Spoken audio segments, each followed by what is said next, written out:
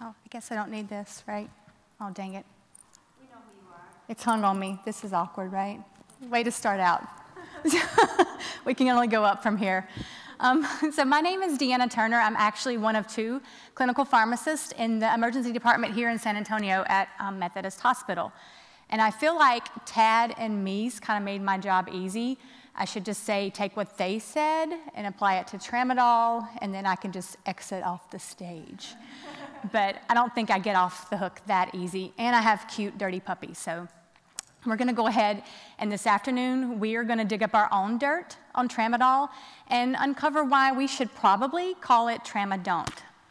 And I don't have anything to disclose. So tramadol, born in Germany, 1962.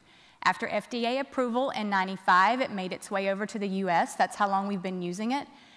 2014, the um, DEA reclassified it, and it's now a Scheduled 4 controlled substance.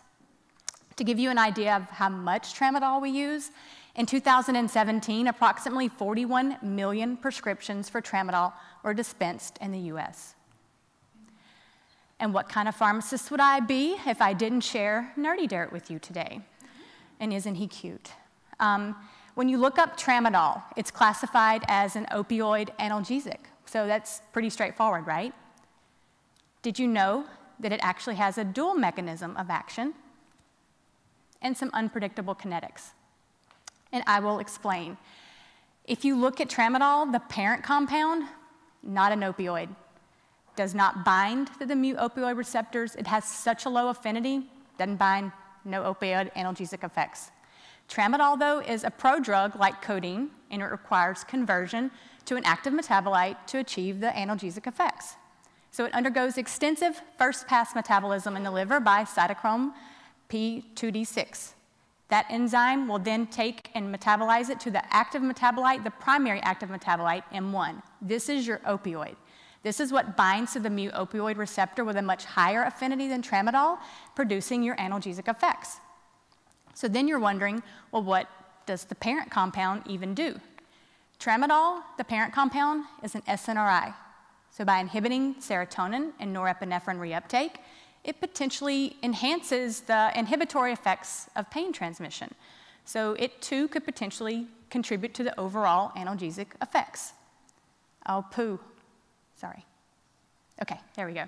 So dual mechanism of action claim, this is where it comes from. Your parent compound to a certain extent, but most importantly, that M1 metabolite, they combine to give you your analgesic effects of tramadol.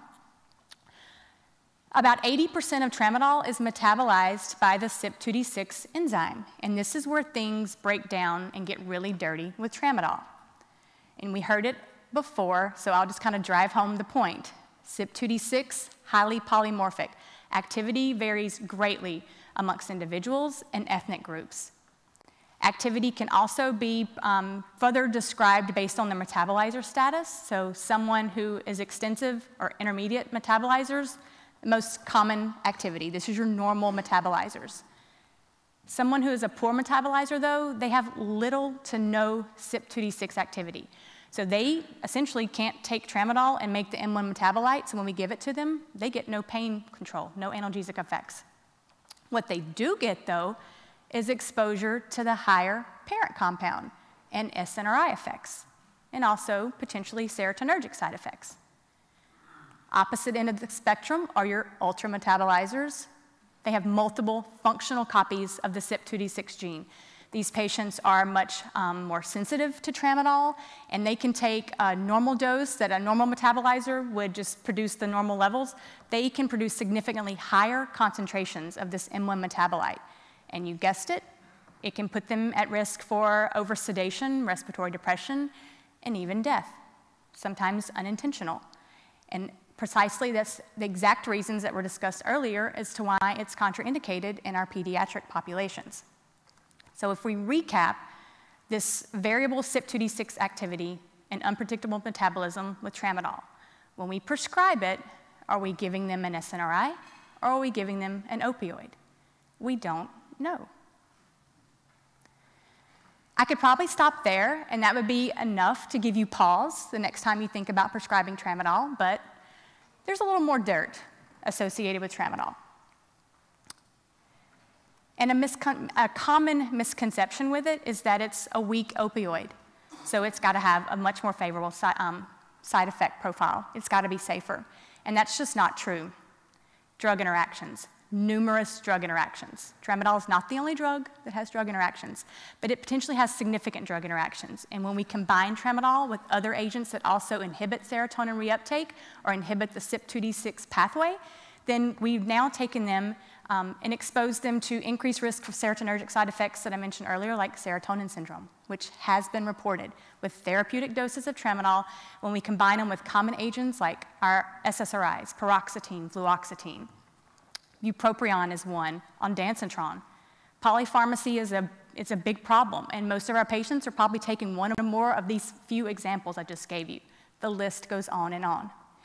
We also, when we combine tramadol with these agents, we increase the risk for treatment failure. Just like I said, we are going to take them if they're a normal metabolizer, essentially turn them into a poor metabolizer, no analgesic effects.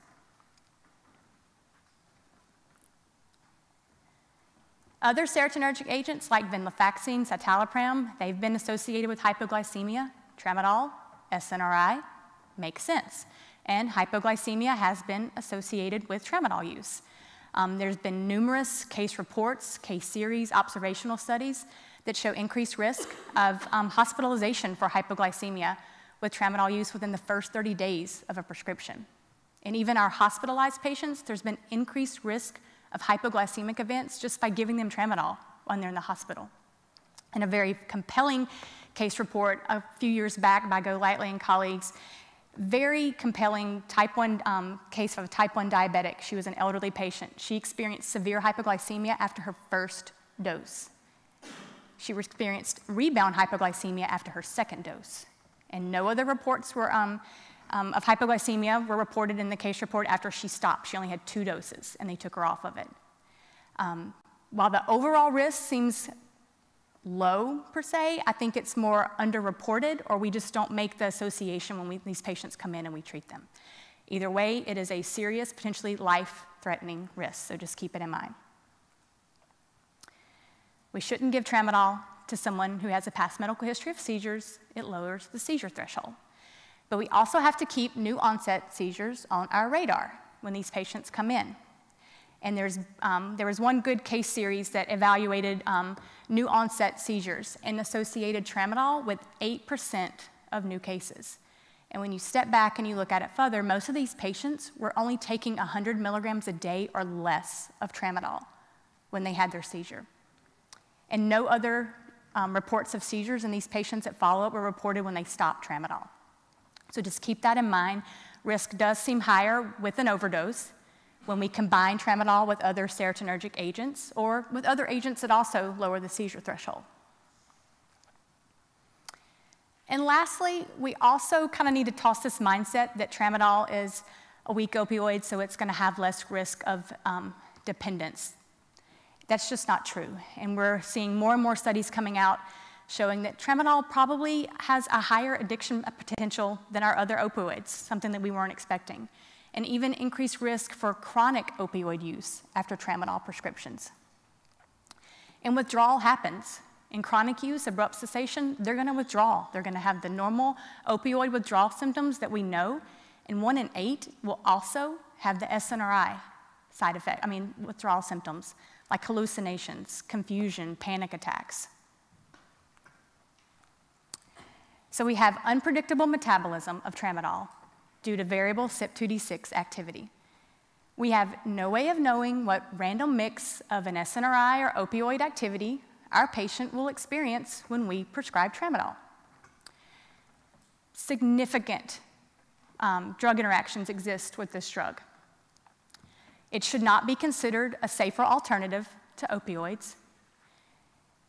We haven't even discussed, we don't have enough time to even consider what renal or hepatic dysfunction and the role that that can play in increasing and worsening all of these side effects, and especially when we forget to dose adjust for that when we prescribe it. Tramadol has a lot of dirt associated with it, so the next time you think about prescribing it, there's a lot to consider.